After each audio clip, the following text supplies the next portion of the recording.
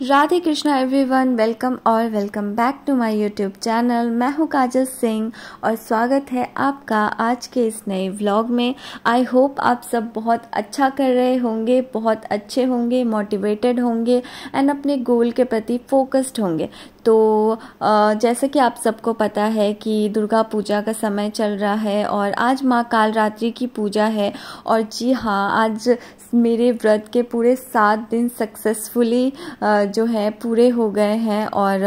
आजकल मेरा ज़्यादा तो भूख नहीं लगती, मुझे आज भी ज़्यादा भूख नहीं लग रही, बट मुझे बहुत ज़्यादा प्यास लगता है। तो सुबह उठ के भी मुझे, मेरा गला सूखा हुआ था तो मैंने सबसे पहले पानी पिया, उसके बाद जल्दी से जाकर मैं नहाकर तैयार हो गई और और यहाँ पे तैयार होने के बाद सबसे पहले मैंने सूर्य भगवान को जल अर्पण किया, क्योंकि हमारे यहाँ सूर्य देवता को जल चढ़ाने के बाद ही बाकी पूजा शुरू की जाती है। मैं अपनी बात करूँ तो वैसे मैं बचपन से ही बहुत स्पिरिचुअल रही हूँ। पूजा पाठ करने में मेरी बचपन से ही काफ़ी रुचि रही है, लेकिन पिछले कुछ समय से जो इन सारी चीज़ों ने मेरी लाइफ में बहुत हैवीली चेंजेस लेकर आए हैं। आ, मुझे बहुत शांति फील होती है। मुझे ऐसा लगता है कि जैसे हम घंटों कोई रील्स देखने में या शॉर्ट्स देखने में या फेसबुक फीड्स इंस्टा फीड्स देखने में हम अपना समय बर्बाद करते हैं। उससे कहीं ज़्यादा हम अगर स्पिरिचुअल चीज़ों में अपना समय दें तो हमारे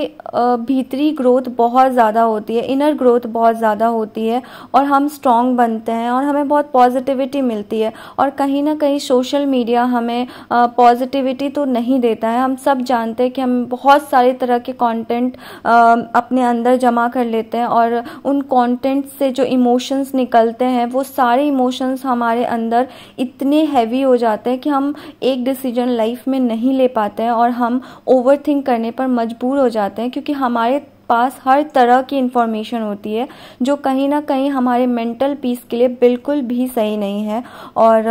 इन सारी चीज़ों की वजह से मैं स्पिरिचुअली अपना समय व्यतीत करना ज़्यादा पसंद करती हूँ। और मैं चाहती हूँ कि मैं आप लोगों के साथ भी वही चीज़ें शेयर करूँ। और मुझे अच्छा लगता है आप लोगों के साथ अपनी ये जर्नी शेयर करके। और आजकल मैं एक बुक पढ़ रही थी eight powers within you and इस बुक में जो बहुत अच्छी लाइन लिखी थी कि हम कल से शुरुआत नहीं कर सकते हैं, लेकिन हम आज से शुरुआत करके अपने आने वाले कल को ज़रूर बदल सकते हैं, जो एक बहुत ही पावरफुल लाइन है। और उसके बाद बात करें तो मैं थोड़ी देर के लिए मार्केट गई थी और उसके बाद, क्योंकि हमें डॉक्टर से दिखवाना था, कुछ काम था, और उसके बाद वापस आके ऑलरेडी शाम होने में बहुत कम समय ही बचा था। तो मैंने बिहार स्पेशल की थोड़ी रीडिंग की और इसमें मैंने एक से डेढ़ घंटे ये बुक पढ़ा होगा थोड़ा बहुत। और मैं ये नहीं बोलूँगी कि मेरा बहुत ज़्यादा कंसंट्रेशन था इस जगह पे, क्योंकि मैं थोड़ा सा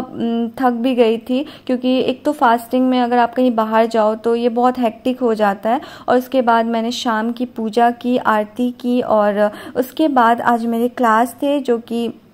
मेरे ऑनलाइन फिजिक्स वाला पे क्लास थे और जो दो घंटे के थे तो मैंने पहले अपने वो क्लास पूरी की और उस क्लास की बात करें तो ये ऐसे राइटिंग वाले टॉपिक पर क्लास थी क्योंकि प्रीलिम्स के तो अब ख़त्म हो चुके हैं तो इन्होंने मेंस के क्लास स्टार्ट किए हैं तो यहाँ पे ऐसे राइटिंग का मैंने दो घंटे का एक क्लास लिया और जिसमें स्टार्टिंग में तो अभी हमें बेसिक चीज़ें बताई गई टॉपिक्स बताए गए और सबसे अच्छी बात जो मुझे लगी कि उन्होंने पिछले साल मतलब ये सिक्सटी एट मेन्स के जो ऐसे राइटिंग उसमें पूछे गए हैं, वो टॉपिक्स क्वेश्चंस के साथ उन्होंने दिखाए और थोड़े डिस्कस किए, जो कि बहुत अच्छा था। हमें पता चला कि एग्जैक्टली exactly कौन कौन से क्वेश्चंस पूछे गए हमें कहीं और नहीं ढूंढना पड़ा और ये चीज़ मुझे काफ़ी अच्छी लगी और उसके बाद इन्होंने आई के भी ऐसे वाले क्वेश्चन हमारे साथ शेयर किए, जिससे एक अच्छा सा कंपेरिजन हो गया। तो आज के ब्लॉग के लिए बस इतना ही, और आई होप आपको ये ब्लॉग अच्छा लगा होगा and I am really sorry I know कि मैं बहुत ज़्यादा